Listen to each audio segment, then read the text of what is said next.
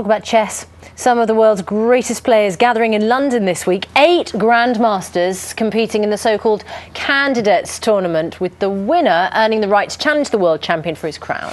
Most of those top players would have learned the game at an early age, mm. and now one charity is aiming to teach all children in one part of East London how to play chess. John Maguire is taking them on at one of the schools, taking part. You're playing all those kids on your own? I'm not exactly a chess computer, I can tell you, Bill. You're talking about them learning to, to, play chess, being taught to play chess.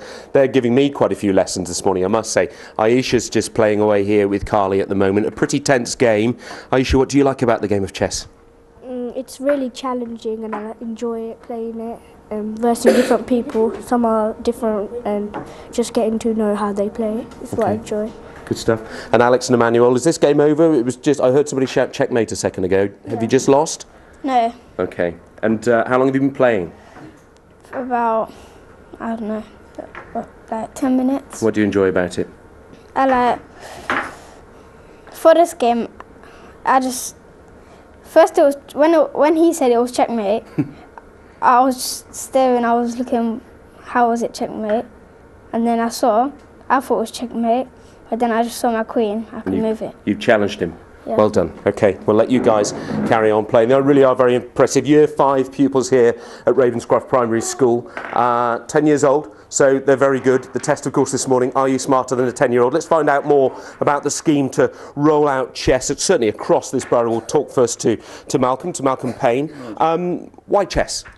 Well, it's so good for children. It's very good for their self-esteem. First of all, to beat adults, as we've seen this morning. it helps them concentrate. It makes them plan ahead and take responsibility for their actions. If you make a bad move in chess, it's only your fault. And it improves children's concentration. Teachers say it's the quietest time of the week. Fantastic. Sabrina, you work with the children, teaching them the game. Uh, crucially here, it's not a chess club, as it were. It happens within uh, school time, within lesson time. Why is that important?